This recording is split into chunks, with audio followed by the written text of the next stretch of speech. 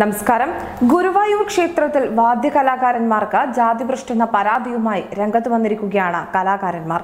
ദളിത് വിഭാഗത്തിൽപ്പെട്ട കലാകാരന്മാർക്ക് ക്ഷേത്രത്തിനകത്ത് വാദ്യമേളത്തിൽ പങ്കെടുക്കാൻ അനുവാദമില്ല എന്നും ക്ഷേത്രത്തിനകത്ത് അവസരം നൽകുന്നത് മേൽജാതിയിൽപ്പെട്ട വാദ്യകലാകാരന്മാർക്ക് മാത്രമാണ് എന്നുമാണ് ആരോപണം.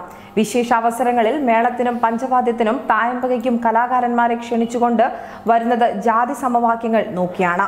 ദളിത് വിഭാഗക്കാർക്ക് ക്ഷേത്രത്തിനകത്തെ പരിപാടിയിൽ പങ്കെടുക്കാനാകില്ല എന്നും കലാകാരന്മാർ പറയുന്നു. ക്ഷേത്ര മതിലിനകത്ത് ഇപ്പോഴും ചില ജാതിയിൽപ്പെട്ട കലാകാരന്മാർക്കും വാദ്യം അവതരിപ്പിക്കാൻ പറ്റുന്നില്ല എന്നും ദളിത് വിഭാഗത്തിൽപ്പെട്ട തന്നെ പലപ്പോഴും ജാതിയുടെ പേരിൽ അപമാനിച്ച് ഇറക്കി വിട്ടിട്ടുണ്ട് എന്നും കലാമണ്ഡലം ചന്ദ്രൻ പെരിങ്ങോടത്ത് വാർത്താ സമ്മേളനത്തിൽ പറഞ്ഞു. കഴിഞ്ഞ നാൽപ്പത് വർഷമായി നിരവധി വേദികളിൽ കൊട്ടിയ കലാകാരനാണ് കലാമണ്ഡലം ചന്ദ്രൻ പെരിങ്ങോടത.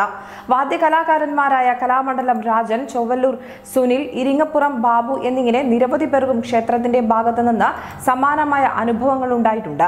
പലവട്ടം ഇക്കാര്യം ഗുരുവായൂർ ദേവസ്വത്തിന്റെ ശ്രദ്ധയിൽപ്പെടുത്തിയിട്ടുണ്ട് എങ്കിലും ഫലമൊന്നും ഉണ്ടായില്ല എന്നും കലാകാരന്മാർ പറയുന്നു.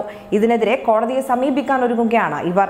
അതേസമയം വിഷയം ഇപ്പോഴാണ് ശ്രദ്ധയിൽപ്പെട്ടത് എന്നും ജാതി വിഭജനം ഇല്ലാതാക്കാൻ നടപടി സ്വീകരിക്കുമെന്നും ഗുരുവായൂർ ദേവസ്വം ബോർഡ് വ്യക്തമാക്കിയിരിക്കുകയാണ്. അങ്ങനെ ഒരു പ്രശ്നമില്ല എന്നും പ്രശ്നമുണ്ടെങ്കിൽ പരിശോധിക്കാമെന്നുമാണ് Devaswom chairman advocate K V Mohandas പറഞ്ഞതായി പ്രമുഖ മാധ്യമം റിപ്പോർട്ട് ചെയ്യുന്നത്. എന്നാൽ നേരത്തെയും സമാനമായ പരാതിയുമായി കലാകാരന്മാർ രംഗത്ത് വന്നിട്ടുണ്ട്.